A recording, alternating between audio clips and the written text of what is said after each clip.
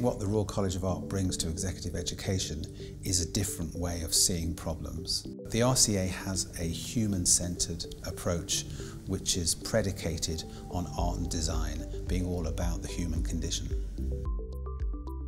The RCA attracts high calibre individuals and organisations to come on these courses and we think very carefully about the learning experience, what they need to take out, what they're bringing to the table and the type of tasks and projects they want to work on during the programme. So we tailor the programmes to fit the needs of individuals. The RCA bears uh, not only the tradition but also the excellence in pushing the, the courses, the programs, the students from all over the world. So we can feel here a great uh, atmosphere uh, of, uh, of creativity, of art. It's the heart of the, uh, the excellence and innovation in terms of art and design. Royal College of Art is the oldest continuous school of art and design in the world.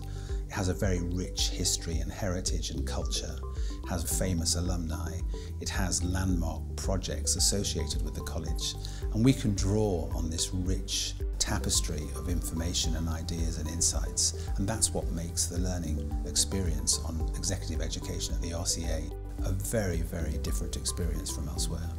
Especially because you have this expertise of design thinking. I think it's also the, not only the expertise, but all this series of uh, personal stories.